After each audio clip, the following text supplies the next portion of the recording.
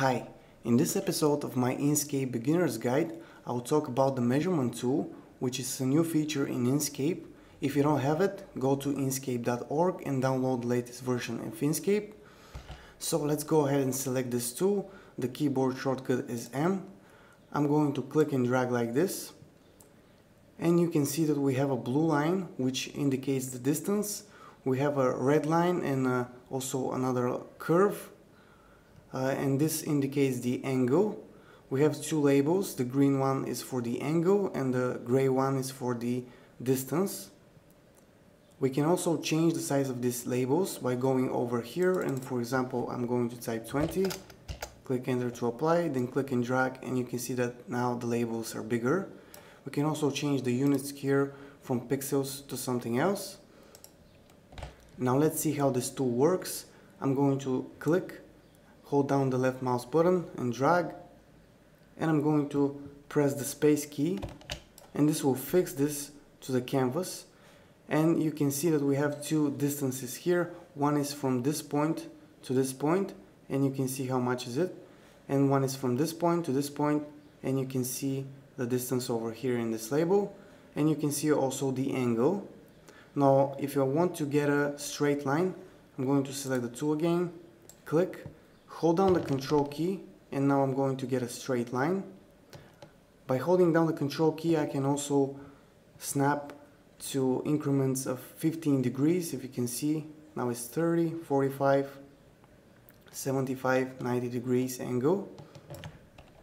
If I click and drag across the text here again I'm going to hold, hold down the space key just click it to sort of uh, lock this tool and be able to move my mouse.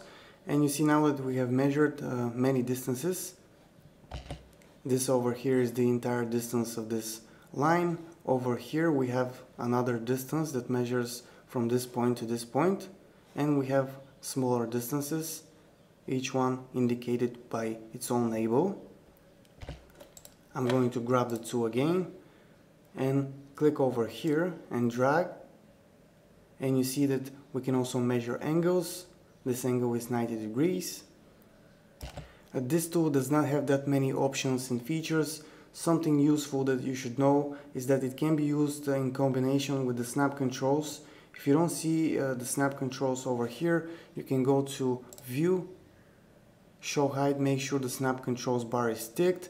And also if they're uh, at some other place in Inkscape you can go to view and change your layout to default so let's see how we can uh, use it in combination with the snap controls. For example, if I want to snap from the middle of this uh, rectangle uh, to the middle of the triangle here, if I want to measure the distance, I can go ahead and select this option, snap center of objects, mouse over here, snap to the midpoint of this object, then go ahead and find the midpoint of this one.